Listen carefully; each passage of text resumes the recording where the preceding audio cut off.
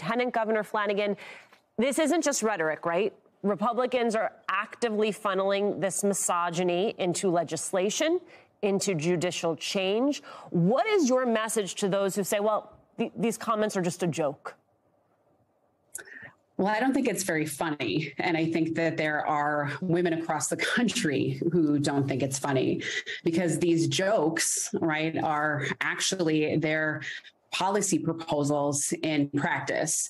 Let me be really clear uh, that you know when a woman decides to have a career much like her decision as to uh, when and if to start a family or to have a child is none of the republican party's business. I cannot believe that in 2022 this is the conversation uh, that we're having.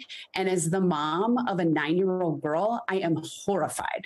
It's completely unacceptable Right, especially Lieutenant Governor Flanagan, because we are living through an economic reality where most households need both parents, if there are two parents, to be able to work just to make ends meet, right? You know, and these Republicans, they keep pushing the envelope at rallies. They're rewarded by cheering crowds.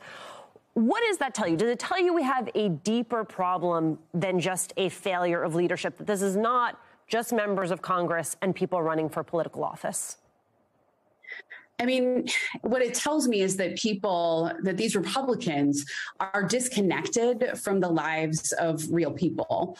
Here in Minnesota, 51% of our workforce is made up of women. So if women don't participate in the economy, uh, our economy completely falls apart. And let me tell you, uh, I'm the lieutenant governor and I'm also a mom. And there are lots of women who are able to have a career and successfully care for and raise their families at the same time. So you don't have to be 100% uh, pro choice to understand that this rhetoric around uh, simply questioning whether or not women should have have careers or really be fully functioning members of society. Uh, you know, this is something that we should all be deeply worried about um, because it again is just erasing women from this conversation completely.